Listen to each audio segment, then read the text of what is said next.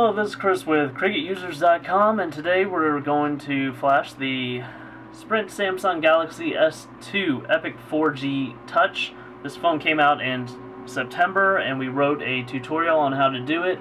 Uh, probably one of our most uh, detailed tutorials, uh, but we never did a video to it. Uh, Sprint's coming out with a white version of this phone now, and they've worked a lot of the kinks out with the loss of signal. We've also noted uh, details about that on our forum. So a few things you're going to need are QPST, uh, Samsung drivers for Galaxy devices, a Windows PC, a preferred roaming uh, list. You can uh, find a link to that on our tutorial, and uh, CDMA Workshop.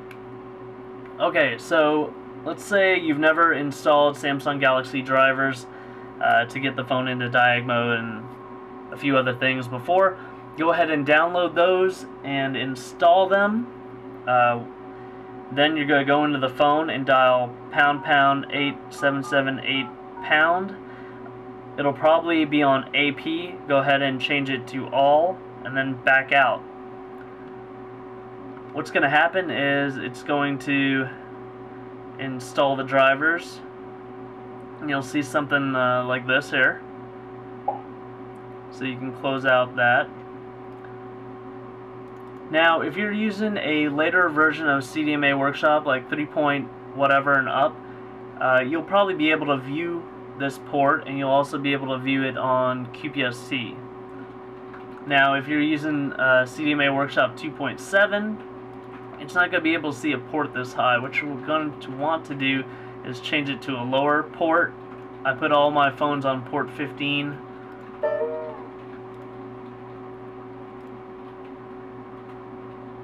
And just to make sure it works, I'm going to unplug the phone and plug it back in since I did that port change.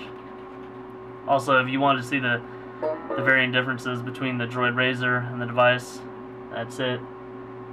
The Droid Razr is significantly thinner. Uh, if we do get a Droid Razr Max, uh, the difference probably won't be as visible. Also, you can see the improved screen resolution on the Droid Razr versus the Epic 4G Touch. Anyways, back to the flashing.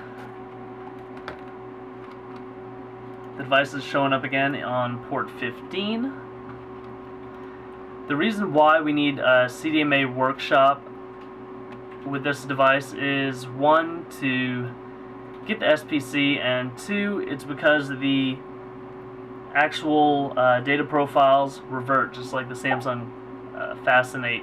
Uh, once you change the data profiles in QPST, uh, you reboot the phone, they tend to revert right back to uh, the original Sprint, Sprint domain. So you have to use CDMA Workshop, send over NV items uh, to get your phone number at mycricket.com in the data profiles. So let's go ahead and close that.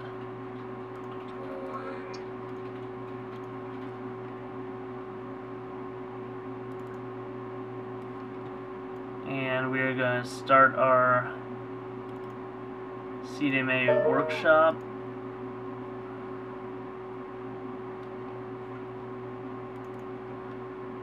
Connect to the device on the port we specified, which is 15. You can hit read if you want. We're going to go to the security tab and the password, 16 digits, we're going to go down to Samsung default. We're going to send that It'll come back with password is correct, phone unlocked. And then your SPC should flash right there. Now, it was probably something else. So what we did was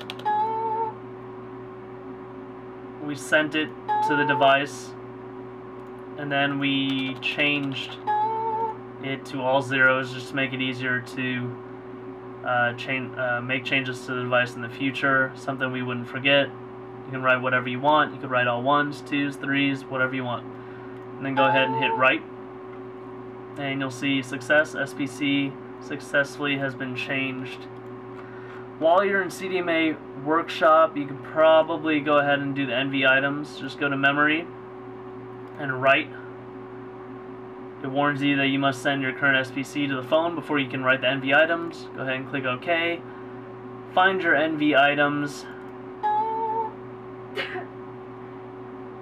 click it, click OK, double click it, whatever. It'll send them. 7 NV items have been written to the phone successfully. Go ahead and click OK. Now at this point, go ahead and hit the X, but don't reset the phone. It's not required. You can immediately go into QPST. If you've never added a, the port to QPST, go ahead and go to QPST configuration.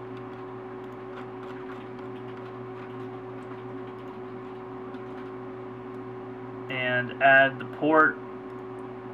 If it doesn't show up here, go ahead and click that checkbox and see if it comes up here. We've already added ours. It's on port 15. We'll go to Start Clients, Service Programming. Going to select our phone. Hit Read from Phone into the SPC, whatever you changed it to. Or if you didn't change it, into that. First tab we're going to want to hit up is the CDMA tab. The directory number is your phone number. If you notice, it writes this as I write the directory number. And this is supposed to be your MIN. So anytime you change this, it's automatically going to change this. Most people's MINs will be different from their directory number. So you're going to want to put your MIN right there. Go ahead and go back and copy your directory number since you're going to be using it over again.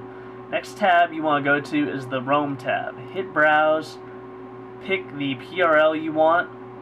We'll use 45713 uh, Hybrid. My Cricket Forum, our old name. Now we're going to go over to the m.ip tab. Mobile behavior, IP behavior, you're going to want this to be simple only or you're going to get some errors every once in a while. The phone will probably work, but you'll still get errors and we're going to enter phone number at mycricket.com password here is cricket cricket again you can leave these here or you can zero them out I'm just going to leave it like this I'm going to go into profile 1 change those up. And punch in Cricket here. Cricket there under AA shared secret and enable this. Active user 1, I'm just going to leave it there. You can see our profile 1 is enabled and we've corrected all the information there. Now we're going to go to the PPP config tab and go to UM, enter our phone number here at mycricket.com, phone number there. If you notice from the past screen, I just copied that so you can paste it really quick. Enter Cricket there. I have both of these checked. And then we're going to go over to the AN and enter our phone number mycricket.com there. And enter Cricket right there. And hit write to phone. You'll see that the signal has gone to a little crosshatch and then it'll reboot the phone automatically. If it doesn't, give it a second or give it about a minute and then reboot the phone manually.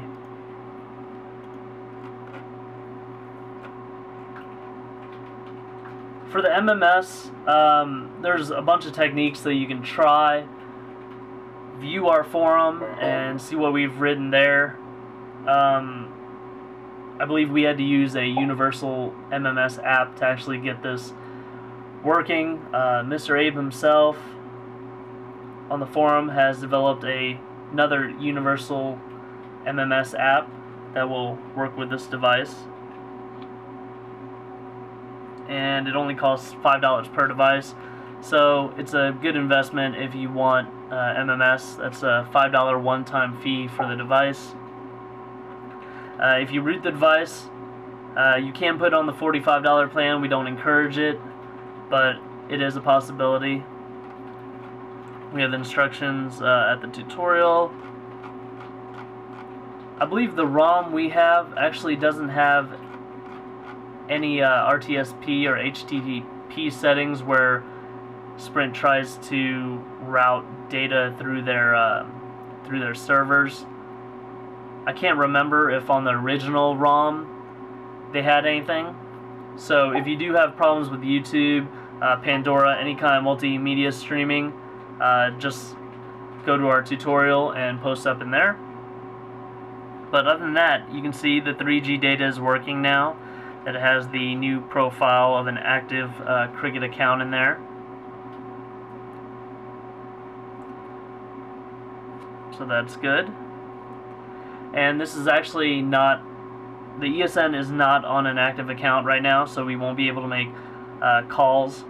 But hopefully this tutorial uh, provide a little bit more help on top of our written tutorial on our forum.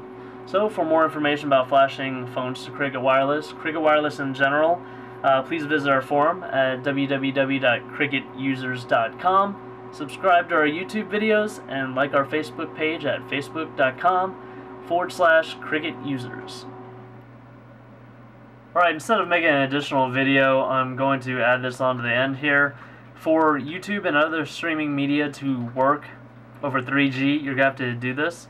Dial pound pound D-A-T-A pound.